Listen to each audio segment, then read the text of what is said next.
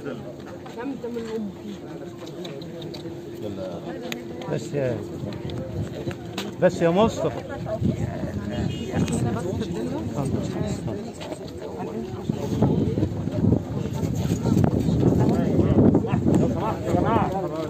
معقول بجد يا جماعة